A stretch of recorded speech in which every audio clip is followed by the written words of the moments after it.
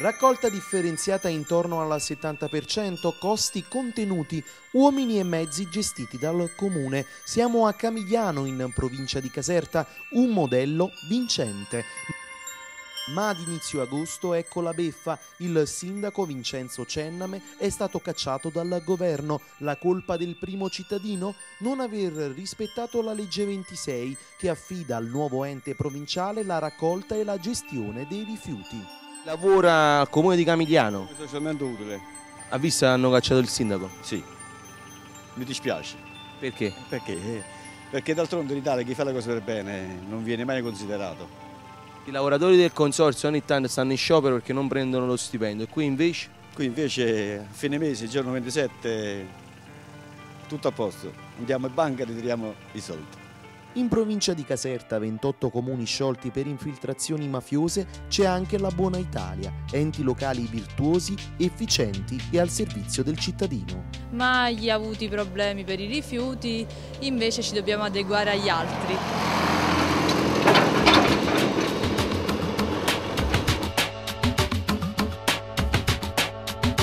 Vincenzo Cenname, un ingegnere under 40, è il sindaco, anzi ex sindaco. Con decreto del capo dello Stato su proposta del ministro Roberto Maroni è stato infatti destituito dall'incarico. È uno schifo, che è un meglio sindaco della provincia Caserta. Come funzionava qua la. Buo, meglio di così non poteva andare. Quindi è un po' arrabbiato per la decisione del prefetto. Bellissimo proprio, incazzato si dice, incazzato. Io ho, ho quasi 80 anni, un sindaco non abbiamo mai avuto un sindaco così gentile. Ha lavorato anche la domenica a tagliare l'erba in mezzo alla campagna, a pulire per mezzo alla strada per tenere il paese pulito. Poi arrivano gli altri, no, questo e quello facciamo fuori. E che siamo qua? Siamo proprio in mezzo a una dittatura qua in mezzo, siamo noi.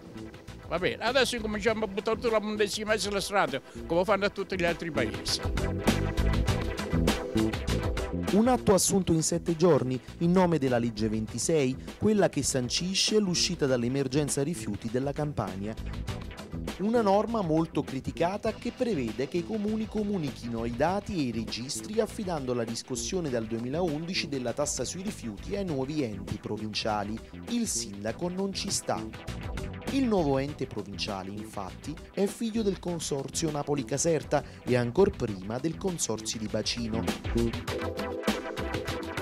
All'interno dei consorzi c'erano anche infiltrazioni camorristiche, quindi siamo stati ben lontani insomma, da, da, queste persone e ne andiamo fieri come amministrazione ma la società provinciale non è altro che il frutto di questi consorzi. E la cosa più assurda è che oggi, eh, parlo di qualche fa, eh, giorno fa, eh, una delibera del Consiglio provinciale di Caserta, a relazione dell'assessore all'ambiente professore Arena, eh, dichiara che eh, la legge 26 va cambiata perché la gestione deve rimanere in capo ai comuni, così come dicevo io cinque mesi fa. Per Cenname il ministro Maroni ha usato la mano pesante su indicazione del prefetto. Non facessi che fa un sindaco dei cammigliani.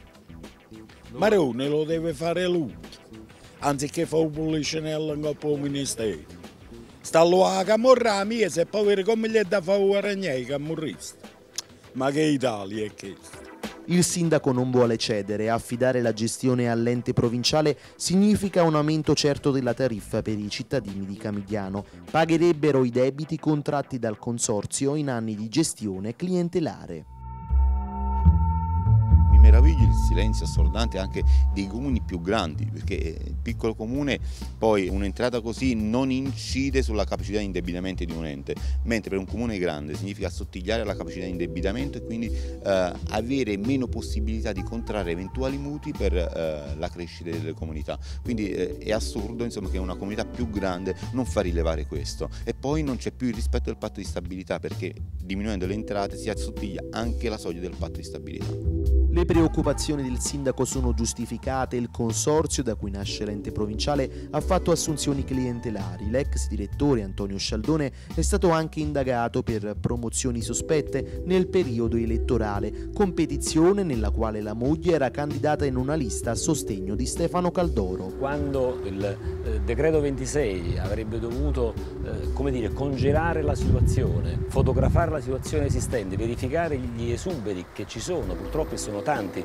fra Napoli e Caserta, in tutta la regione Campania, beh, in quel consorzio si sono continuati a dare premi incentivanti, molto discrezionali, eh, passaggi di, eh, di categoria all'interno del consorzio e si sono fatte assunzioni ancora nel corso del 2010. Non solo, con la nuova normativa sui servizi pubblici i privati sono pronti ad entrare nell'ente provinciale con il rischio di nuove infiltrazioni della malavita. La preoccupazione è che quello che si vorrebbe cacciare dalla finestra, cioè insomma, la camorra al ciclo dei rifiuti, potrebbe rientrare di nuovo con l'ingresso dei privati all'interno della società provinciale.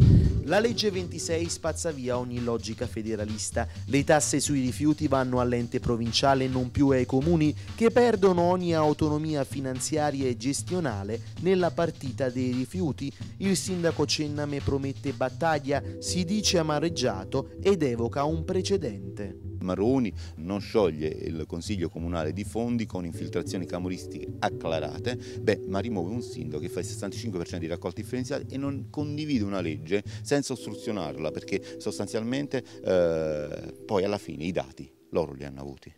Fondi il comune del Sud Pontino colluso e salvato dopo un anno di tira e molla. Per Camigliano invece nessuna pietà, sindaco rimosso in sette giorni, in nome della legge e alla faccia del federalismo.